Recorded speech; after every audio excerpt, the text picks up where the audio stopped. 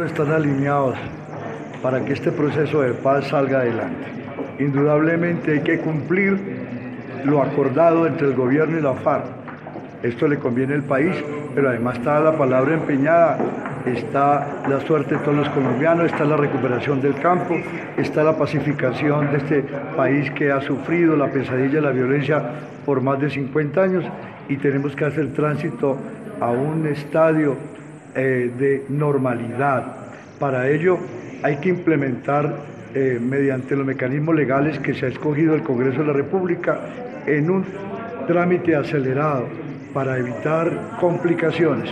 Es una bendición lo del Fast Track para poder sacar adelante toda la implementación del acuerdo de paz.